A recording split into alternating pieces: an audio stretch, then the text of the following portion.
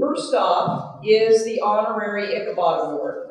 This award lets us honor those who are not themselves graduates, but serve and support Washburn through their time, talent, or treasure. Tonight's recipient of this award is Mike Jauken.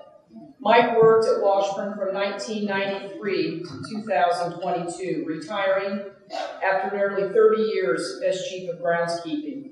The university honored him in 2007 with an Outstanding Service Award. He and his team maintained the outdoor space at Washburn uh, with groundskeeping, horticulture, maintenance of the water features around campus, trash, recycling removal, parking lot street repairs, snow removal, and several other duties. He helped set up for commencement ceremonies, athletic events, athletic field renovations, the Mulvane Art Fair, and other special events. If something was going on outside on the Washburn grounds, Mike was a big part of it. Alumna and Mulvane Art Museum volunteer Connie Carson said this about Mike. If we needed something done, you were the person we could depend on. Your humble and friendly ways made us feel confident all would go well. And Jerry and Susan Farley said, You always work with the most contagious, positive attitude. Keeping the grounds looking great reflects how people feel about the university, and it probably felt like we asked everything, everywhere, all at once, but you handled it with grace. And Regina Hall, retired assistant to President Farley, said, You worked hard to make us all proud of our campus.